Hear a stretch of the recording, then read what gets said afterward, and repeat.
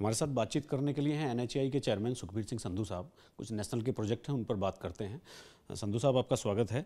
आज आप देहरादून थे, मुख्यमंत्री जी से और मुख्य सचिव से मुलाकात हुई। एक कोई मेगा प्रोजेक्ट है अक्षरधाम से देहरादून को जोड़ने वाला, उसके बारे में थोड़ा सा आप तफसील से बताइए।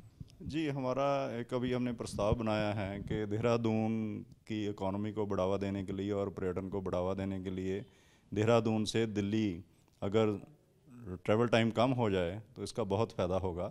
तो अभी प्रस्ताव है हमारा अक्षरधाम, दिल्ली से ईस्टर्न पेरिफेरल वे और उसके आगे देहरादून तक एक नई सड़क का। और ये अलाइनमेंट वगैरह हमने अपनी तरफ़ से पूरी बना ली है। और आज हम आए थे, माननीय मुख्यमंत्री जी से और मुख्य सचिव से बात हुई। कुछ क्लियरेंस क्योंकि जहाँ फॉरेस्ट है, बीच में वाइल्ड लाइफ भी थोड़ा पड़ रहा है। और जल्दी क्लियरेंस हो जाए तो ये सड़क बन जाएगी। इसका ये फ़ायदा होगा कि दिल्ली से आप देहरादून और देहरादून से दिल्ली आप दो घंटे में पहुँच जाएँगे करीब सौ की एवरेज से आपकी स्पीड से आप ट्रैवल कर पाएँगे। ये अभी आपने इसको टेंटेटिव कुछ देखा होगा कि कितनी इसकी लागत होगी और कितना इसमें समय लग सकता है। सारी चीज़ें एक बार तय हो जाने के बाद। लागत इसकी करीब 12 से पंद्रह हज़ार करोड़ रुपया है और उसकी एन ने प्रोविज़न कर रखी है उसमें कोई दिक्कत नहीं है। और जिस दिन हमें क्लियरेंस मिल जाएगी हमारे टेंडर डॉक्यूमेंट भी तैयार हो रहे हैं। बस क्योंकि फॉरेस्ट और वाइल्ड लाइफ की क्लियरेंस में थोड़ा कभी कभी समय लग जाता है। जिस दिन ये क्लियरेंस मिल जाएगी हमें दो और दो से ढाई साल में ये सड़क चालू हो जाएगी। तो अभी मुख्यमंत्री जी से जैसे आपकी मुलाकात हुई है तो उनका क्या रेस्पॉन्स है? किस तरह से वो मदद कर सकेंगे और कितनी जल्दी? ये प्रोजेक्ट ऐसा है कोई भी जो इसको सुनेगा और ख़ास करके उत्तराखंड प्रदेश से जो संबंधित है वो तो सभी चाहेंगे ही। कि जल्दी हो जाए। उनका बहुत ही अच्छा रिस्पांस था और उन्होंने पूरा कहा कि जो भी स्टेट से और इवन यूपी से भी जो क्लियरेंसेस चाहिए, उनको भी वो माननीय मुख्यमंत्री यूपी से भी बात करेंगे और जल्दी क्लियरेंस दिलाने का उन्होंने पूरा आश्वासन भी दिया है और कार्रवाई भी शुरू कर दी है। ये जो प्रोजेक्ट है चेयरमैन साहब, ये जो बागपत दिल्ली सहारनपुर हाईवे है और एक Delhi Meerut Muzaffarnagar N H fifty eight इससे थोड़ा सा किस तरह से अलग होगा ये? ये ईस्टर्न पेरीफेरल वे से सहारनपुर तक तो बिल्कुल नई अलाइनमेंट है। ये नई सड़क होगी बिल्कुल, पुरानी सड़कें नहीं हैं और इसमें एक्सेस कंट्रोल होगा।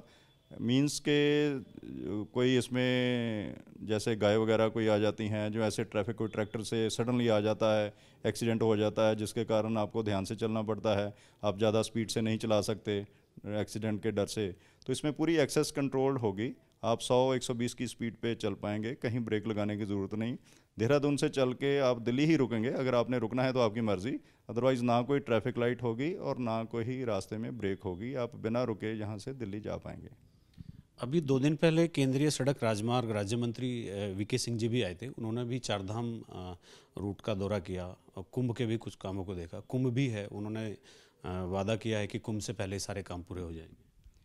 जी चार धाम एन नहीं देख रही, लेकिन कुंभ के जो हरिद्वार, देहरादून और हरिद्वार से मुजफ्फरनगर सड़क जो हम एन एच आई देख रही है, इसका भी पिछले तीन महीने से लगभग डेली रिपोर्ट मेरे पास आ रही है। शुरू में ही जब मैं एन एच आई में आया तो इसकी पहले दिन ही मीटिंग की थी।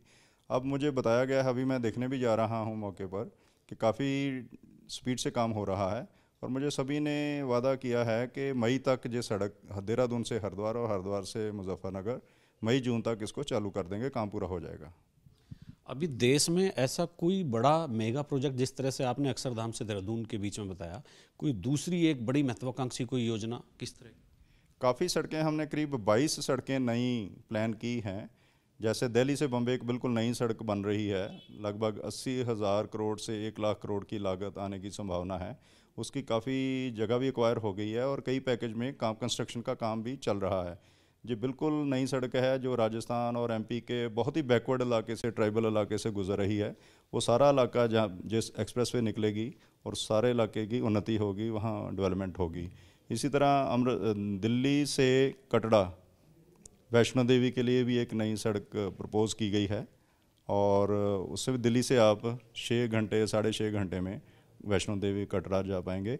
इसी तरह सारे देश में जहाँ जहाँ भी ज़रूरत है वहाँ नई सड़कें बना रहे हैं। उसका कारण ये है कि अभी बहुत कम लोगों के पास कारें हैं। अगर पूरी देश की आबादी लें तो 20-25 प्रतिशत फैमिलियों के पास ही कारें हैं।